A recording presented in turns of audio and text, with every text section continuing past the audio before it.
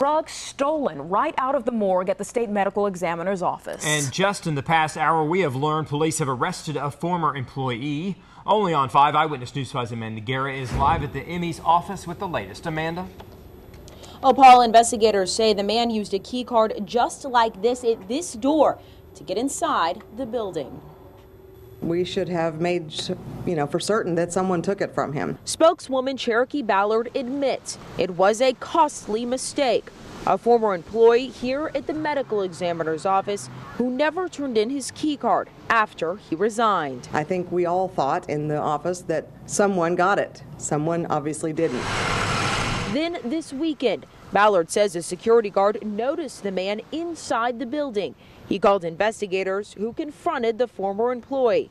Ballard says he admitted to stealing drugs, including morphine, from the morgue. When we show up on a scene where there's a suspected drug overdose, we take the body and the drugs into custody.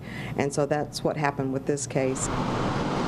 Investigators have since found out the man used his card an additional four times to enter the building since his resignation. We're in the process of doing our own investigation to determine if any drugs are missing on those days. Ballard says so far they haven't found anything yet. And Ballard says the office is implementing a checklist system to make sure all key cards get turned in when someone leaves. Also, starting tonight, there will be a safe in the morgue for drugs, kind of like a drop box where you put something in, you can't get it back out. Reporting live tonight, Amanda Guerra, Eyewitness News 5. Thank you, Amanda. Investigators now have those stolen drugs and that key card.